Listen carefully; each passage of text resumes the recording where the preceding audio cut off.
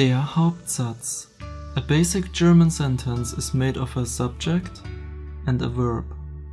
Most of the sentences will also have an object, but that is not required to build a grammatically complete sentence. First, let's have a look at the three most important German verbs.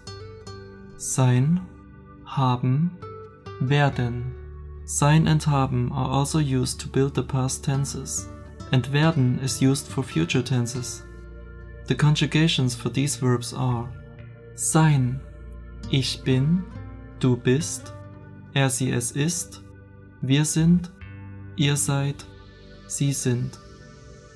Haben, ich habe, du hast, er sie es hat, wir haben, ihr habt, sie haben. Werden, ich werde, du wirst, er sie es wird, wir werden, ihr werdet, sie werden. A good way to learn the German sentence pattern is by using positions. Position 1 contains the important part, that what you're talking about. You can always remember that verbs are in the second position, and position 3 contains the rest of your sentence. For example, Ich bin im Haus.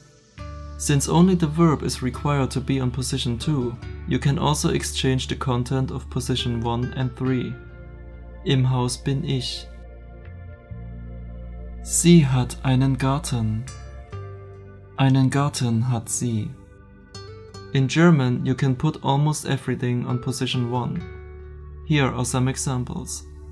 Pronouns. Ich habe ein Auto. Nouns. Der Fernseher ist klein. Interrogative Word. Wer hat meinen Stift? Time.